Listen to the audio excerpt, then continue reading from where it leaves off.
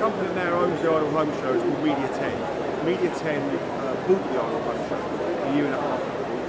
Um, I don't you know but the Ideal Home Show has been going for 103 years.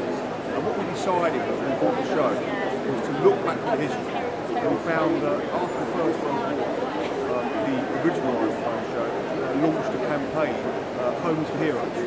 In support of Soldiers Charity, uh, we decided to um, try and link um, the charity with, with, with, with homes. That's so, right. so we decided to um, build a room set uh, made completely out of reconstructed soldiers' uniforms. Uh, the idea being that we went to army surplus stores, we went to the soldier stores themselves, and we took old uniforms, had them all taken apart, and then and then rebuilt completely as furniture.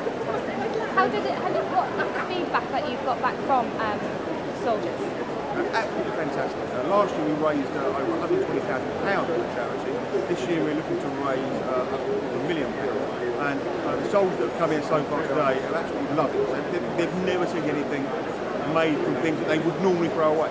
And what will happen to the um, produce after this event? Will it be auctioned off? Um, will it be put into a competition, or will it be given to um, victims of um, soldiers being lost in war, for example?